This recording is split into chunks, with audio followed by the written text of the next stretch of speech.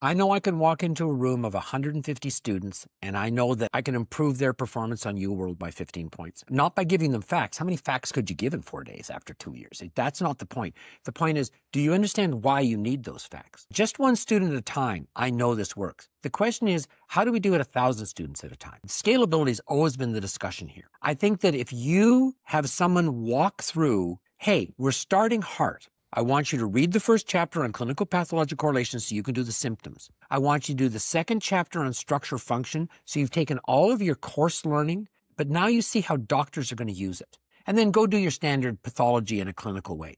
If someone sort of walks you through quite quickly, this is how I want you to learn it. Go learn the symptoms, go learn your structure, go read through it once so you've got it in your head. Now you can come back to me and we will do small group intense tutoring. If you have the facts, you can fix it like that just by learning them the right way. It's really hard work. You can't cram it. But that intense tutoring really works. And so that's why we're going to form this community. You can come and teach yourself the symptoms and the structure and the basic material. And that's what this website's going to be. We're going to start with this small community of people that are really committed to this idea that we are medical educators.